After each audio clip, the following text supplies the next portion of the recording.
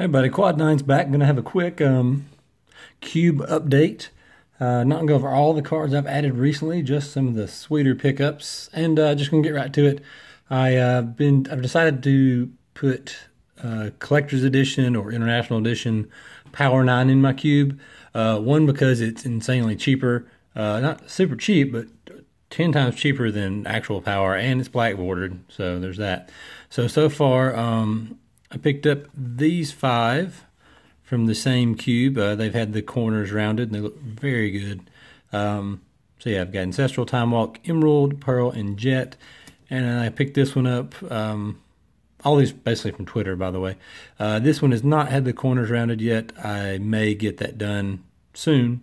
But uh, anyway, still got to get uh, the two big ones, uh, Sapphire and Black Lotus. I'm not going to add Timetwister. I mean, I've got Days Undoing.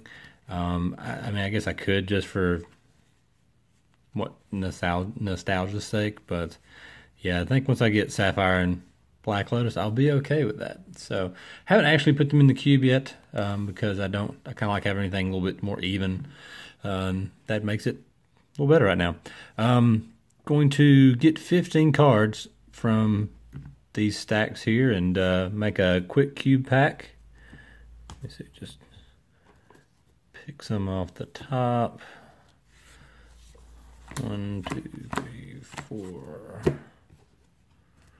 five, six, seven, eight, nine, ten, eleven, twelve and get three from this stack.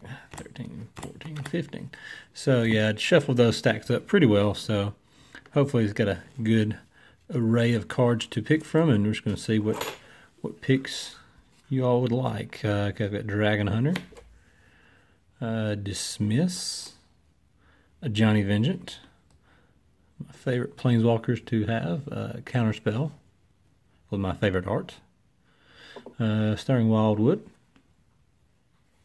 uh, Primal Hunter. Got a little mana fixing of Verdant Catacombs. Dig Through Time. A lot of pretty blue cards in this pack, which you know kind of happens. Uh, Aetherling. Uh, Raging Ravine, another man land. True Name Nemesis. Uh, ooh, card I've added more recently than some. Uh, Gray Merchant of Asphodel. And a super new card of the cube, Skysovereign Consul Flagship uh, Paliano the High City, very good Draft Matters card, and an Elspeth uh, Knight Errant. Um, it's really a strange pack, to be honest. A lot of good blue cards, a few pretty decent lands, and uh, an Elspeth, basically. I do like Skysovereign. It keeps you open, but it is 5 mana, which my cube can be faster than that sometimes, as my one of my dogs eats dog food very loudly. Um, I do have the habit of going blue and then turning to Esper Super Friends. So either one of these would go great with that. Um, or even a Ajani for that matter. Ajani uh, does kind of put you in two colors pretty fast. Uh, without there being any real slam dunk, uh, definite first pick here, like a Sol Ring or Library or something. Um, I'm just going to go Elspeth just because it's a little different. What I kind of different what I've been doing. You can go a lot of different decks. You can just do white weenie or green white mid range, you know, Abzan, whatever. Um, also, like I said, can go into a blue white control deck. Um, so yeah, probably just gonna go with Elspeth here. Um, some other ones I might consider are True Name, uh, grab any equipment, and it's a really fast clock. Uh, counterspell, dig through time. Wouldn't fault you playing those. Um, I actually wouldn't fault either Paliano or Verdant Catacombs just to stay really open, get you a three color land and some good fixing right off the bat.